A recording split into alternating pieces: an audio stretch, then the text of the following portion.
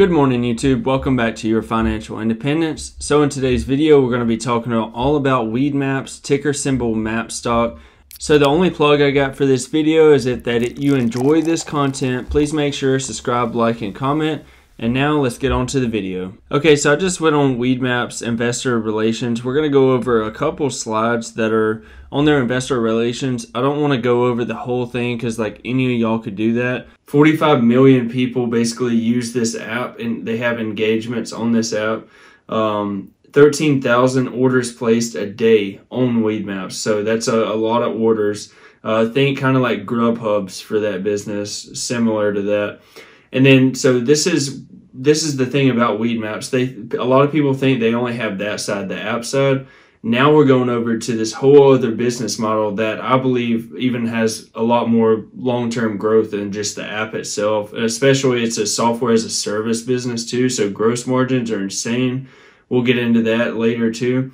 Uh, so this is the more exciting biz- business aspect, in my opinion, is the Weedmaps business. So right now they have four and a half thousand paying clients on the Weedmaps business, and it's a uh, 1.9 thousand active, but not even monetized right now in the Canadian market. Uh, if y'all want me to do a video about what I think of Weedmaps uh, in the Canadian market, the demonetization that happened uh, basically the beginning of 2021 let me know and I'll do a video on that specifically because that's a huge topic that that will make a whole nother video about to go in depth. Um, so 50% of U.S. retail license as paying clients across our extended U.S. markets, 56% share across the U.S. and Canadian uh, paying active or paying or active clients. Now 3.8 thousand average monthly revenue uh, per client. So that's per business is paying them three uh, $3,800 basically every month to use Weedmaps business. And then full box in a business personality. So think of what uh, Square offers the consumer, right? Uh, you have Square Banking, then you can get their uh, card readers. They do pro, uh, POS systems. Uh, they do everything. Uh, point of sale systems, that's POS, my bad.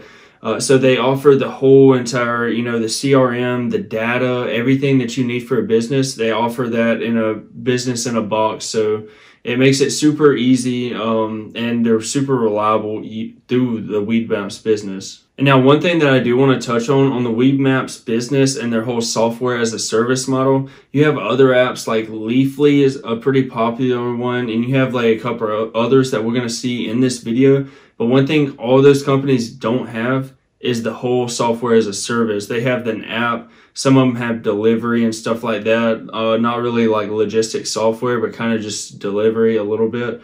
Um, that's one thing that no other company has right now. And Weedmaps has been in business and has been profitable, bottom line profitable for over a decade now. So this business has been making money. Uh, the growth trajectory is insane for this company and what it can achieve. So, yeah, Weedmaps Business, no other app right now has this product, which is what I believe makes this package right here, these two different business models, so unique. So now we're going to go over of some of the, you know, client bases and revenues per client. So the average monthly revenue per client has grown from Q3 2020 to $3,238 to now almost $4,000 is 3817 of Q3 of 2021, so the most recent quarter. Um, average monthly plan paying clients has also increased from 3590 to now 4444. So, you know, they're growing their client base and they're also growing how much the clients themselves are paying. So that's two very good metrics whenever you're looking at this stock um, whenever you know the next 10Q gets released and stuff like that. Uh, that's really one of the most important things for this business model, especially their uh, software as a service, their SaaS business. So now let's go over how does this company grow? Like how how does this become a 10 billion, let's say, maybe 20 billion dollar company? Um, you know, it's it's insane how much growth potential this company has. So let's get into you know the factors that are going to make this company become a huge deal, in my opinion. So, existing market growth, new license, uh, basically any kind of new licensing, any kind of new dispensaries open up, uh, share penetration, and then deeper monetization. So that's what they're using right now.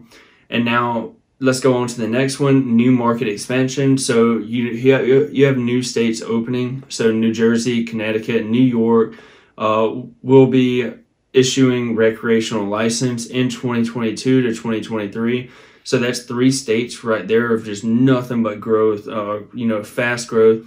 And you still have you know that that puts 38 states uh, that's medical or medicinal i do believe um, or me- medical and recreational. I want to say the number is 38 so they still have a bunch of states that can legalize and then the whole market in general especially all of the states from medical going to recreational and furthering the tam in this market it's insane. Um, so yeah canada monetization that's another way that they can grow. Uh, currently have about 50% Canada license uh, on the Weedmap business on a trial basis right now. And like I said, it's kind of like a light switch. They're going to flip over monetization and it's going to start, you know, bringing in cash just from that. International, you have Mexico, Germany uh, will be passing cannabis reform in the near term. You also have um, other European countries. I think it's like Malta or something like that um, yeah, I think it, I want to say it's Malta. It's basically right below Italy. They were the first country in the European market to fully recognize um, cannabis. So you have international growth on top of that. And then acquisitions and partnerships, kind of like what they've done with Sprouts. You know, there's so many um, acquisitions that they can make, and they're um, a profitable company, so it doesn't hurt them that bad to make these acquisitions, especially right now as the companies are small. So you have uh, Sprouts, Concurrent, uh, uh, and this basically is going to scale the business model in the Weedmap business um, for fiscal year 2022. Then you have potential acquisitions that can also grow the company. And now let's say federal legalization or regulation takes effect so now you have federal regulation will be engaged into basically uh, take rate driven monetization and capture more GMV flowing from the Weedmaps marketplace. Then you have payments. This also opens up the door for federal reg- regularization will also enable payment monetization in the United States. So now let's go over the year to date profit and loss summary on this business model. Um, as you can see on Q1 fiscal year 2021, so top left column, they have $41 million in revenue. And uh, yeah, so 47 million for next quarter, 51 million for Q3. And then year to date, um, that's about going to be 52% for the United States alone, going out to 135 million and this is top line revenue. Now, one thing to look at how profitable, and this is one of the things that I thought the, was the most important. Uh, if y'all saw my discussion post I posted on my channel, is uh, you know, you have 96% gross margins and then 20% adjusted EBITDA uh, margin rates. So extremely profit, profitable business model. You have 96% gross profit. That's insane. That's definitely a lot of their software as a service. Um, and I wish they broke down more uh, in between the software as a service and the Weedmaps, you know, the actual app itself, what consumers use. Because uh, that would be very interesting to see. But yeah, 96%. Every once in a while, you, like you'll see in Q1, you have 95% uh, gross margin rate, but it usually stays pretty consistent at 96%, which is insane. And once again, you have the adjusted EBITDA at the bottom uh, for the fiscal year. Basically, is going to be 28 million. Uh, so that's 28 million basically earnings before tax, you know, all that good stuff. So that number is going to go down. But uh, yeah, they're still bottom line, they're still a very profitable company. And that's one thing that differentiates this as any other SPACs in the market because uh, this company is already profitable. Um, so yeah, very exciting company.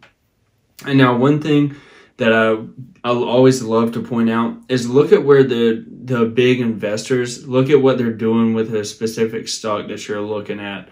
Um, so you have you know share change in the percentages of 263 percent is how much extra shares that uh, what is that? Sinvest Management LLC. So you have so many, um, and then 5.8% growth right here. Somebody sold 8% of their stake right here. You have new shareholders coming in, people adding 15% extra to their position. Um, and these are not small positions. Like at the very top, you know, somebody bought up 4.2, basically 4.2 million shares. And obviously, there's a reason why hedge funds buy in. Peter Lynch once said, um, you know, insiders, or, you know, we can kind of throw this in with hedge funds too there's multiple reasons why you might sell a stock, you know, tax reasons, you're trying to take money off the table. There's only one reason why you buy a stock. It's because you believe it's going to go up in the future. You know, that's why everybody's in the stock market is you're trying to make money. Um, so you have six analysts right now with a 12 month forecast with a median of about 135% upside, so $14.50. Uh, you have a low of 78%, which coming out to $11, and you have a high of two over 240% going up to $21. So even the median price range right there, that's still uh, you know a double up from the share price right now. It's even more than that, you know, 135%. So now let's go over a little bit of the statistics of this stock. And uh, one thing I do want to point out right here, first off, with uh, Weedmaps technology, is the market cap is about 820 million, so it's under a billion dollar market cap. Um, I don't believe Yahoo Finance is ever going to fix this. Uh, the market cap they're showing is about 405 million.